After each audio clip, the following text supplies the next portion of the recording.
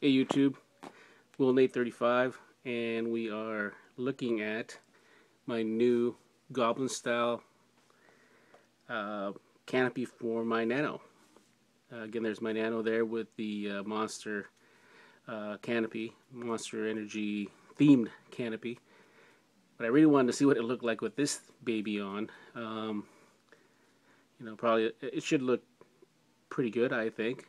Um, this canopy basically came in this box here, uh, very well protected. It had this uh, styrofoamy foam stuff around it, so uh, it was definitely well protected. Um, also came with this sticker kit that would basically go on the uh, on the fin, tail fin back there. Uh, it'll have it have the same type of color, so should look pretty cool. Um, and then what I did as well was I decided to uh, go ahead and get some carbon fiber landing gear and that's this kit right here. Uh, I think this I can't remember how much this thing cost I think it was around ten dollars something like that. The uh, that should hopefully make it look a little bit cooler I think.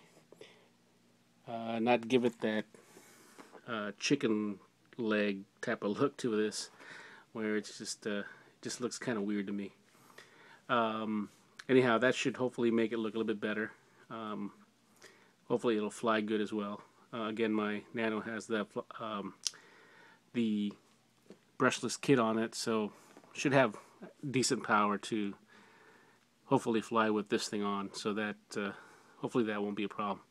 I also bought some uh, some new rotor blades for it. So these are the stiff version, I believe. Uh, I can't remember how much this thing cost. Maybe five bucks, ten but I can't remember. Anyhow, that's all. The, all the stuff's in Helidirect.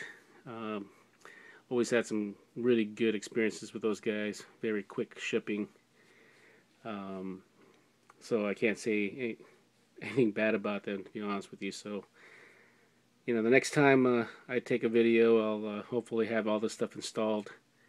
And we'll go check out how this whole thing uh, looks after everything's together. Uh, this is Will Nate 35 signing off. See you guys later.